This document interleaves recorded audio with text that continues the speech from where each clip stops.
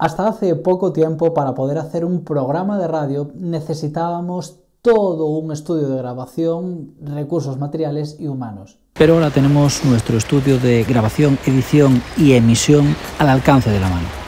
Y lo mejor de todo es que casi podemos grabar en cualquier parte. En medio de la naturaleza o en una visita que nos sorprenda.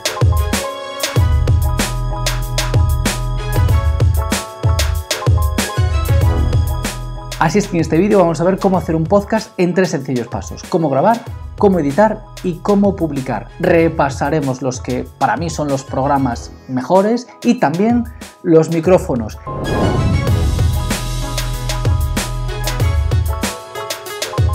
Bueno, empezamos con el primer paso que es grabar. Primero, si eres una persona que se va a poner a hacer un podcast por primera vez, pues este va a ser el vídeo, porque partiremos de cero.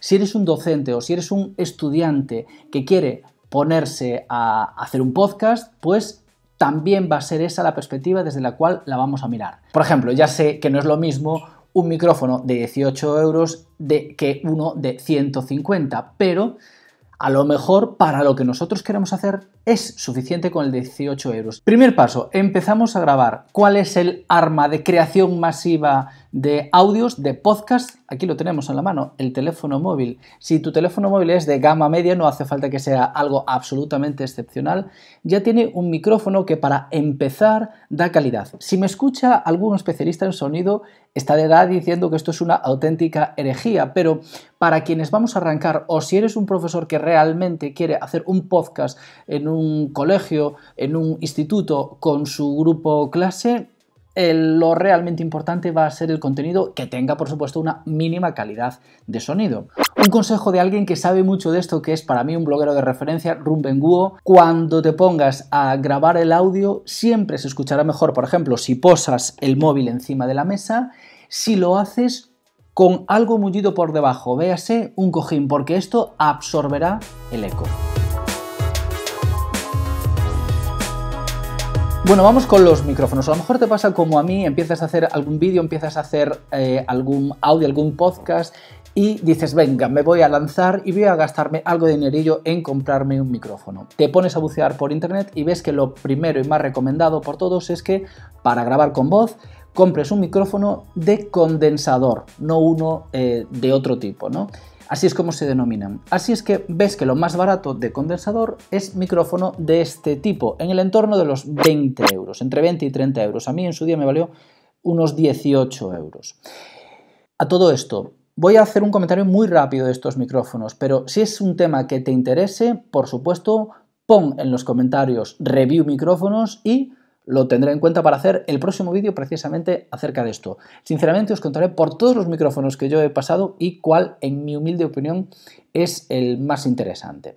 Bueno, pues como decía, 18 euros. Sinceramente, eh, ya hay una diferencia de voz. Si vas a empezar, creo que esto es suficiente. Claro, nunca va a ser el sonido que tienes en un micrófono de 150 euros, pero desde luego es suficiente. Y ya no te digo si llegas a tu centro educativo con un micrófono de estos, cómo se ponen tus alumnos. Siguiente gama de precios, en el entorno de los 50-60 euros. Vamos a ver, para mí el punto ideal está en este micrófono. Tiene una calidad de sonido muy interesante y no es necesario, desde luego, llegar a los 130 y pico, 150 euros que cuesta este otro Blue.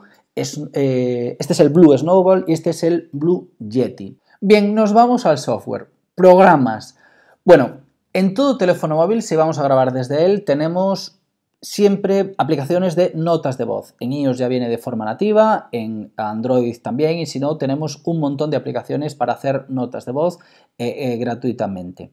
Con ellas yo llevo mucho tiempo grabando, sinceramente, mis podcasts o audios, incluso de vídeo, pero ha aparecido una aplicación que para mí es excepcional para alguien que quiere arrancar. Y esa aplicación es Anchor.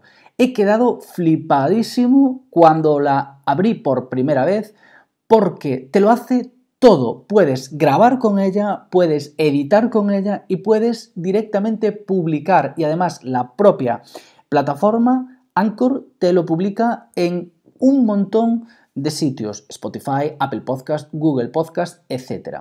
Luego la vamos a ver. Y te digo con ella lo mismo que con respecto a los micrófonos. Si te interesa saber más de esta, de esta aplicación, pónmelo en comentarios. Con que simplemente pongas la palabra Anchor, haré un vídeo explicando cómo funciona esta aplicación tan interesante. Y últimas alternativas que hemos utilizado en situación de pandemia o que necesitamos cuando queremos grabar a varias eh, personas en diferentes puntos o que no están aquí. Pues directamente los propios programas para hacer videotutorías.